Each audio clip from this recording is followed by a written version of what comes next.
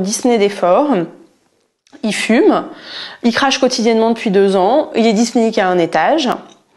Et en plus, il, dort la, il dort la journée, il est très somnolent et sa femme dit qu'il ronfle. Donc A, c'est le score d'Epworth, c'est un score qui évalue euh, la somnolence. Donc c'est un questionnaire qu'on pose aux gens euh, dans le dépistage du syndrome d'apnée du sommeil. Bah pour évaluer s'il y a effectivement une somnolence diurne. Et comme ce patient, il dit qu'il est somnolent et sa femme dit qu'il ronfle, on pense à l'apnée du sommeil et donc on lui fait le, score d'Epworth. Le test de Fargenstrom, c'est euh, un questionnaire qui évalue la dépendance à la nicotine. Donc c'est pas fait systématiquement, mais c'est bien d'y penser.